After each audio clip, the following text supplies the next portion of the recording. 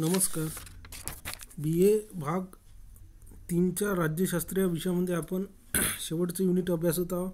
त्या युनिटचं नाव आहे आपल्याला दहशतवाद. या आधीच्या व्हिडिओमध्ये आपण दहशतवादाचे काही प्रकार अभ्यासले होते. त्यामध्ये आंतरराष्ट्रीय दहशतवाद राष्ट्रीय स्तरावरील किंवा देशांतर्गत दहशतवाद त्याच्यानंतर तिसरं सीमापार दहशतवाद चौथं राज्य पुरस्कृत दहशतवाद. हे चार प्रकार या आधीच्या व्हिडिओमध्ये आपण अभ्यासले होते. या व्हिडिओमध्ये आपल्याला पाचवा प्रकार पाहायचा आहे धार्मिक दहशतवाद. तर धार्मिक दहशतवादामध्ये आपल्याला माहीत आहे की दहशतवादी संघटना कधीकधी धार्मिक शिकवणुकीचा आधार घेऊन धार्मिक शिकवणुकीचा आधार घेऊन समाजासमोर धार्मिक दहशत निर्माण करण्याचा काय करत असतात? प्रयत्न करत असतात. आता बऱ्याच वेळा आपण बघितलं की अनेक शतकापासून अनेक धर्माची तत्त्व शिकवण दुसऱ्या धर्माच्या लोकांवर कधीकधी जबरदस्तीने लादण्याचा सुद्धा प्रयत्न केला जाते. आपल्या धर्माची शिकवण ही दुसऱ्या धर्मावर कशी लादता येईल याचा प्रयत्नसुद्धा या धार्मिक दहशतवादामध्ये केल्या जाते. कधीकधी लोकांना आपला धर्म जबरदस्तीने स्वीकार करण्याचा धाक दाखवूनसुद्धा स्वीकार करण्यास भाग पाडला जाऊ शकते. जसं आता मुघल काळात म्हटलं आहे की मुघल काळात आपल्याला दिसून आलं की अनेक हिंदूंना जबरदस्तीने इस्लाम धर्म स्वीकारण्यासाठी काय केलेलं होतं? भाग पाडलं होतं. तर या सगळ्या धर्म मूलतत्वाच्या विचारणातून आपल्याला दिसून येते की धार्मिक धाक लोकांमध्ये निर्माण करून एक प्रकारचा दहशतवादी कृत्य करण्याचं काम या धार्मिक दहशतवादामध्ये केलं जाते. यामध्ये धर्मग्रंथ हा प्रमाण मानणे आधुनिकरणास विरोध करणे पाश्चात्य देशाचे तत्त्वज्ञान अमान्य करणे पाश्चात्य देशाची संस्कृती आपली शत्रू आहे असे समजून तिचा विरोध करणे या सगळ्या मुद्द्यांचा समावेश यामध्ये झालेला आपल्याला दिसून येते. अलीकडेच आपल्याला माहीत आहे की काही धार्मिक धर्मातील ज्या कडवा धार्मिक संघटना आहे त्या धार्मिक दहशतवाद लोकांमध्ये पसरवण्याचा प्रयत्न करत आहे हे सुद्धा आपल्याला दिसून येते. आणि या धार्मिक गोष्टीमुळे समाजाची एकता एकात्मता आणि जातीय सलोखा कधीकधी नष्ट होऊन समाजाला धोका निर्माण होण्याची सुद्धा बऱ्याच वेळा शक्यता या धार्मिक दहशतवादामधून निर्माण झालेली आपल्याला दिसून येते. देशात आपल्या भारत देशामध्ये सुद्धा आपण बघतो की बरेच वेळा धर्माच्या नावाखाली जातीय दंगलीसुद्धा झालेल्या आहे धर्माच्या नावाखाली काही दहशतवादी कृत्यसुद्धा झालेले आपल्याला दिसून आले.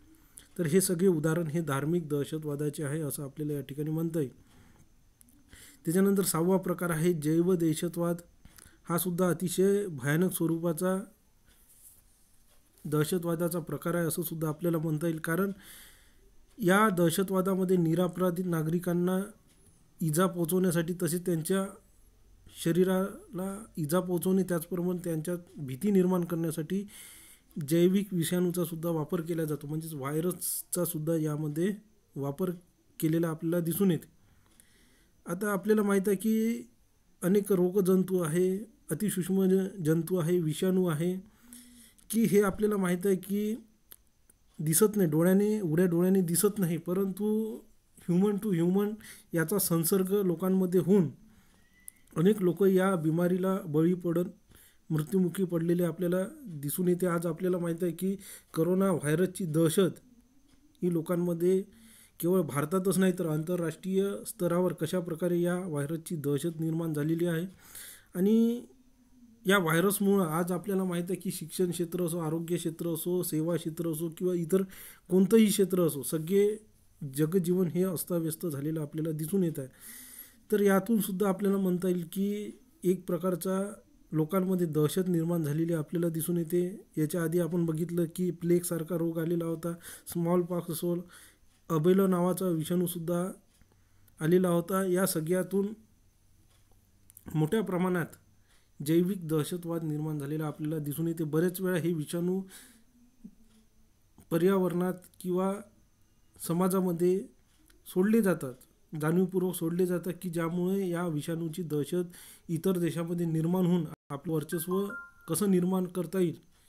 यासाठी सुद्धा काही देश या अशा प्रकारच्या घातक जैव दहशत विषाणूंचा वापर करून समाजामध्ये दहशत निर्माण करण्याचा प्रयत्न करतात. उदाहरण द्यायचं झालं तर इराकचा हुकुमशाह सद्दा हुसेन सद्दाम हुसेन यांनीसुद्धा अमेरिकेच्या सैन्याविरुद्ध लढण्यासाठी जैविक हत्यार विकसित केलेलं आपल्याला दिसून आलं. त्याचबरोबर अशा या हल्ल्यामध्ये अनेक सूक्ष्म जीवाणू विषाणू हवे सोडले जातात की ज्याच्यामुळं समाजामध्ये रोग फैलून देशामध्ये रोग फैलून अनेक निरपराध लोक यामध्ये मारले जातात.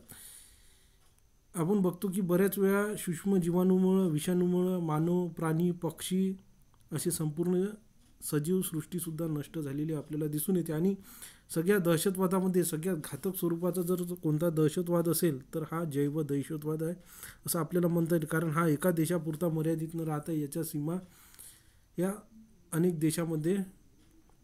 कारण हा सीमापार निर्माण झालेला दहशतवाद आहे. कारण या दहशतवादामुळे एकच राष्ट्र बळी न पडता इतर राष्ट्रसुद्धा या प्रकारच्या दहशतवादाला बळी पडलेले आपल्याला दिसून येते. त्याच्यानंतर सातवं आहे सायबर किंवा संगणकीय दहशतवाद सायबर टेररिझम. आज आपल्याला माहिती आहे की एकविसावं शतक आपण माहिती आणि तंत्रज्ञानाचं युग म्हणून ओळखल्या जाते. या माहिती आणि तंत्रज्ञानाचा जसा चांगला उपयोग आहे तसाच वाईट उपयोगसुद्धा आहे. आपल्याला माहीत आहे की आज इंटरनेटच्या माध्यमातून अनेक आपल्या देशातली गुप्त माहिती ही शत्रू देशांना अगदी सहजरित्या उपलब्ध होऊ शकते. अनेक वेळा आपण बघतो की देशाचे महत्त्वाचे ज्या संस्था आहे गुप्तचर संस्था या संस्थेंच्या सुद्धा वेबसाईट हॅक केल्या जातात आणि आपल्या देशातली गुप्त माहिती ही इतर देशाला सहज उपलब्ध केल्या जाते. सायबर दहशतवादामध्ये कोणताही एखादा व्यक्ती एका ठिकाणी बसून इतर देशांमध्ये कोणत्याही स्वरूपाचं विघातक कार्य करू शकते. साधारणतः असं म्हटलं जाते की एकोणीसशे शहाण्णवपासून या सायबर दहशतवादी हल्ल्याची सुरुवात झाली. एकोणीसशे अठ्ठ्याण्णवमध्ये तामिळ गोरिला यांनी श्रीलंकन दूतावासाला रोज हजारो ईमेल पाठवून श्रीलंकेच्या दूतावासाच्या संगणक व्यवस्थेमध्ये बिघाड निर्माण केलेला होता. त्याचप्रमाणे आपण बघतो की बऱ्याच वेळा ज्या महत्त्वाच्या आंतरराष्ट्रीय संघटना आहे गुप्तचर संघटना आहे भारताच्या सुद्धा एम्स आपल्याला माहिती आहे की दिल्लीत एक मोठं हॉस्पिटल एम्स नावाचं आहे. त्यानंतर जवाहरलाल नेहरू विद्यापीठ हे सुद्धा दिल्लीला आहे. यासारख्या संस्थेच्या सुद्धा वेबसाईट हॅक केलेला आहे. अलीकडेच एक वाचण्यात आलं होतं की रॉ जे रिसर्च अँड अनालिसिस विंग म्हणजे भारताची सगळ्यात मोठी गुप्तचर संघटना आहे यांचीसुद्धा वेबसाईट बऱ्याच वेळा हॅक केलेली आपण दिसून येते. तर या हॅकरच्या माध्यमातून एका देशातली माहिती ही दुसऱ्या देशामध्ये हॅक केली जाते आणि त्याच्या माध्यमातून दहशतवादी कृत्य हे घडून आणलेले आपल्याला दिसून येते. आता आपल्याला माहिती आहे की नव्वू जो सव्वीस अकराचा हल्ला मुंबईमध्ये झालेला होता यामध्ये बऱ्याच तंत्रज्ञानाचा सुद्धा वापर केलेला आपल्याला दिसून आला. की तेथील जे त्यांचे आका होते हे आपल्या भारतातल्या न्यूज चॅनलवर पाहून त्यांना गाईडलाईन करत असल्याचं सुद्धा आपल्याला दिसून आलं. या सगळ्यामध्ये आपल्याला माहीत आहे की सायबरचा सुद्धा सायबर इंटरनेटचा असो किंवा तंत्रज्ञानाचा मोबाईलचा सुद्धा मोठ्या प्रमाणात वापर केलेला आपल्याला दिसून आला. तर हे सगळे दहशतवादाचे नवीन प्रकार आपल्याला दिवसेंदिवस उदयास आलेले दिसून येते. आणि शेवटचा सांगितलेला आण्विक दहशतवाद. आण्विक दहशतवाद हा सुद्धा अतिशय भयानक स्वरूपाचा दहशतवाद आहे. दहशतवादाचा प्रकार आहे. उत्तर कोरियामध्ये आपल्याला माहीत आहे की उत्तर कोरिया हा देश आण्विक दहशतवादाचा धाक दाखवून इतर देशांवर आपली हुकुमशाही प्रस्थापित करण्याचा प्रयत्न करत असल्याचं सुद्धा आपल्याला दिसून येते. बऱ्याच वेळा आपण बघतो की भारताला पाकिस्तानसारख्या देशाकडून सुद्धा बऱ्याच वेळा आण्विक हल्ल्याची धमकी बऱ्याच वेळा आलेली सुद्धा आपल्याला दिसून येते. कारण आधुनिक काळात आपल्याला माहीत आहे की मोठ्या प्रमाणात तंत्रज्ञानात बदल झालेली आहे. शस्त्रत्रेसुद्धा अनेक लहान लहान देशामध्ये सुद्धा आण्विक स्वरूपाचे शस्त्र उपलब्ध झालेले आहे आणि बऱ्याच वेळा हे आण्विक तंत्रज्ञान चोरून आण्विक शस्त्रे बॉम्ब तयार केले जातात आणि याचा वापर शत्रू राष्ट्रांना घाबरवण्यासाठी केलेला बऱ्याच वेळा आपल्याला दिसून येते. आणि बऱ्याच वेळा काळ्या बाजारामध्ये सुद्धा दहशतवादी अशा प्रकारचे आण्विक शस्त्र हे विकत घेतात आणि या शस्त्राचा वापर हा देशामध्ये इतर देशांमध्ये शत्रू राष्ट्रांमध्ये आपली दहशत निर्माण करण्यासाठी बऱ्याच वेळा प्रयत्न केला जातात आणि इतर देश शत्रू देशाला कशा प्रकारे उद्ध्वस्त करता येईल यासाठी सुद्धा या प्रकारच्या आण्विक दहशतवादाचा वापर केलेला आपल्याला दिसून येईल.